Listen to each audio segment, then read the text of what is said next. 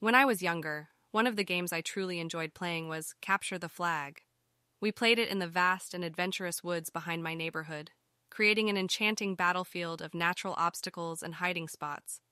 It was a game that brought together all the kids from the neighborhood, and sometimes even kids from neighboring blocks joined in the fun.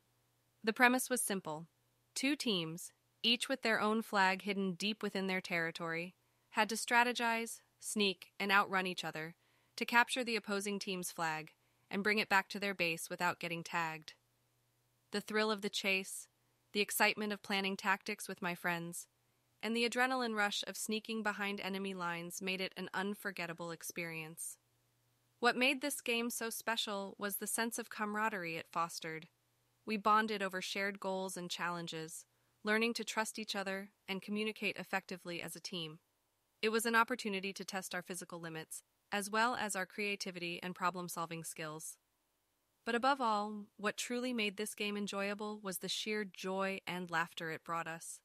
The shouts of excitement, the friendly banter, and the triumphant moments when we successfully captured the flag created unforgettable memories that I still cherish to this day.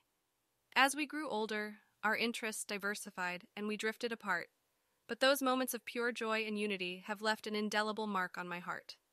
Capture the Flag not only ignited a love for outdoor activities, but also taught me the value of teamwork and the importance of cherishing the simple joys of life. It was a game that exemplified the spirit of youth and embodied the essence of unforgettable childhood friendships.